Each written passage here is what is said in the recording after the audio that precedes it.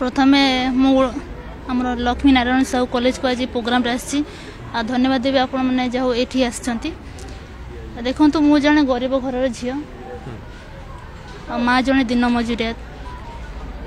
আমার দুই হাজার পনেরে আমার ক্রাইটেরিয়া অনুসারে আমি মিলিলা যেহেতু মু গোটে গরিব ঘরের বিলংস করছি মু গোটে এসটি ঝিও মা দিন মজুরিয়া বাবা বি নথিলে এক্সপায়ার করে তো মা নাঁরে কার্ডটা আমার হয়েছিল ଆମେ ଯେହେତୁ ତାଙ୍କ ଝିଅ ସେ ଲିଷ୍ଟରେ ଆମ ନାଁଟା ରହିଥିଲା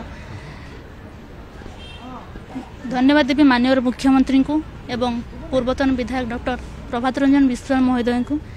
ସିଏ ମୋତେ ଡେପୁଟି ମେୟର ପରିବାରରେ ତାଙ୍କର ବହୁତ ସହଯୋଗ ଅଛି ତାଙ୍କରି ଆଶୀର୍ବାଦରୁ ମୋତେ ଆଜି ଗୋଟେ ଗୁରୁ ଦାୟିତ୍ୱ ଦେଇଛନ୍ତି କଟକ ମ୍ୟୁନିସିପାଲ କର୍ପୋରେସନର ଗୋଟେ ଗୁରୁ ଦାୟିତ୍ୱ ଦେଇଛନ୍ତି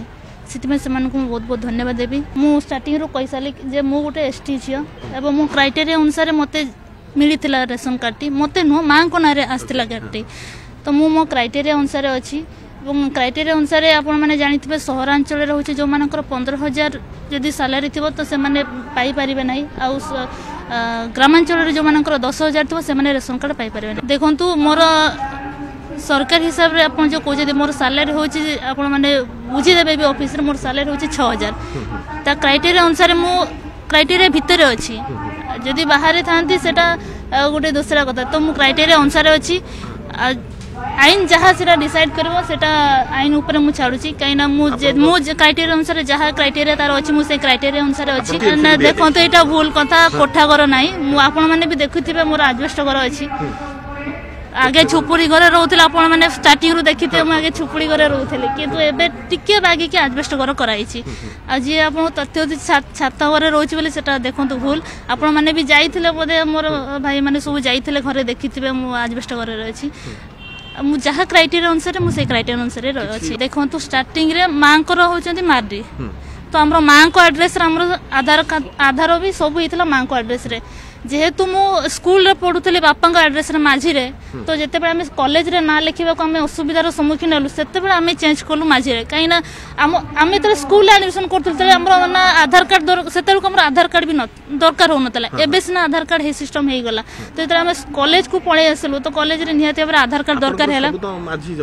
ଆଜ୍ଞା ତାପରେ ଆମେ ମାଝିଟା ତାପରେ ଆମର ମାଝି ହେଲା